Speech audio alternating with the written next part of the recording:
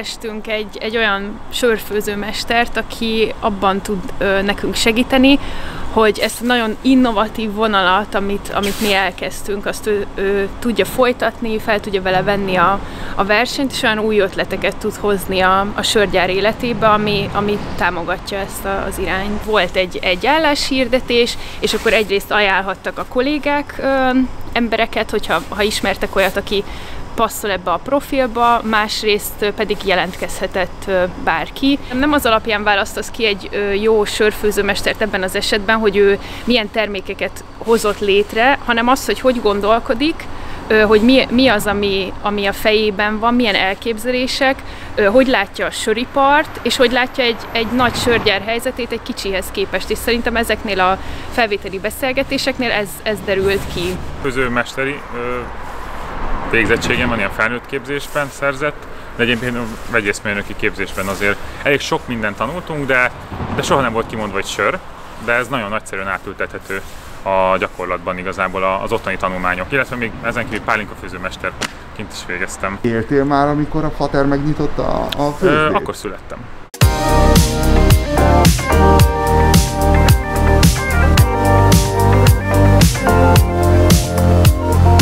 Itt kísérleteztél ki már valamit? Ö, igen. Mit? Búzát. Hát ez úgy indult, hogy amikor ide kerültem, akkor, akkor ez a projekten elkezdtem dolgozni, és gyakorlatilag a nagyon-nagyon több, több verzió is készült el, gyakorlatilag tényleg kísérleteztünk a maláta arányjal, komló mennyiségekkel, a fűszerek mennyiségével.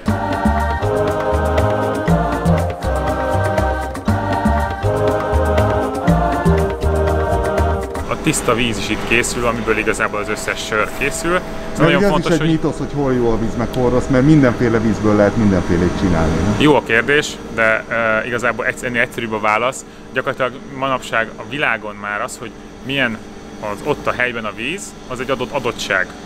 De sokszor ezeket uh, akár kicsiben is, akár nagyban is, képes, vannak olyan technológiák, akik gyakorlatilag teljesen egyforma tudnak, vizet tudnak csinálni, és egészen ebben az üzemben is, akár egy, egy víztisztító üzemnek is hívhatnánk, hogy bármilyen ö, típusú vizet elő lehet állítani. Csak ismernünk kell a megfelelő ásványanyag tartalmakat, és ez segít abban nekünk, hogy ö, hogy bármilyen sörprofilhoz, bármilyen sörtípushoz a lehető legjobb vizet tudjuk csinálni. Tehát akkor más vizet csináltak egy meggyes élhez, és mást egy helynekhez, vagy egy 1890. Receptfüggő, igen.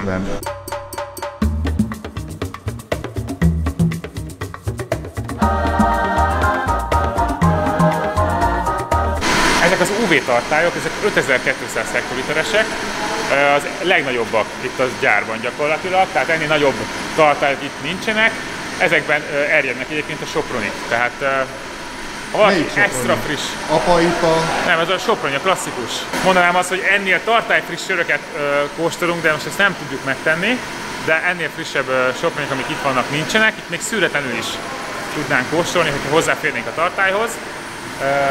De zárva vannak teljesen ezek a tartályok, és teljesen steril körülmények között dolgozunk, itt a kollégák is. Tehát nincs az, mint egy kis főzdében, hogy igen, tudom, egy kis. Ceylon Buddy-t Nem, nem, nincs ez a folyamat. Ennél egy, egy sokkal szabályozottabban működnek a dolgok, itt tudjuk biztosítani. És van egy kóstolópon, ahol egy Anna is mondta, ahol ezeket a magát a készterméket, illetve a köztes szakaszokat is tudjuk kóstolni akár. Neked milyen gyakran kell kóstolni? Uh, hát uh, ezek időszakok, de egyébként van, amikor naponta.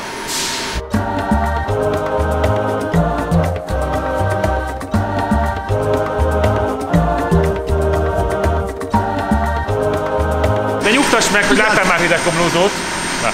Hát ekkorát még nem. Ekkorát még nem? Hát ekkorát még én sem. Hogy uh, ezúton szeretném ben... Elkezdeni ezt megmutatni a kedvenc játékszerünket itt, amit az ipához és az apához használunk. És itt gyakorlatilag egy ilyen automata szivattyúrendszer a megfelelő tartályba cirkuláltatja ezt a komlót, és így a komlóból lévő anyagok, az értékes anyagok számunkra beleoldódnak a sörbe. Ez egy 1895-ös rézüst lehet? Nem merném megkockáztatni, De, ez most keresünk már raj- nyugdíjas rész is. Abszolút, abszolút. Látszik a színén is kicsit az idő is. Idő vasfoga megkoptatta. Nem egy titkos sörfőzde része vagy ilyesmi. Ez, ez egy kiállítási darab. ez a helység itt mögöttem, ez a szűrő helység. Itt kerülnek a sörök végső formájukba. Itt egészen a, a maga a szűr, tehát kristálytiszta legyen, megfelelő széndiokszid mennyiség legyen a sörben, megfelelő színe legyen. Tehát ezeket itt, itt vannak beállítva.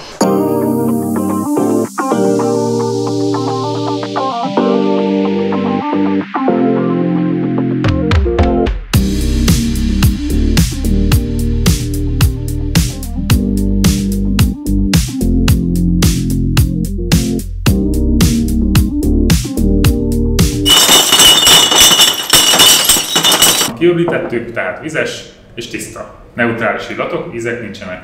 Vagy vannak, azok vannak. Nincsenek furcsa, oda nem illő illatok, még a mosogatásból semmiféle maradvány. Nyom.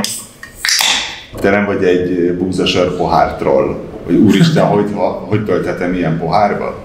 Fontos, hogy fontos a pohár is, de kóstoló poharaknak egyformának kell lenniük. Azt hittem, hogy több hókusz-pókusszal fogod kitölteni. Hát, ha gondolod, 4 méter magasról is tölt. És ez a, és ez a Hefeweizen töltés, ez a forgatom a dobozban, hogy az élesztő bele menjen.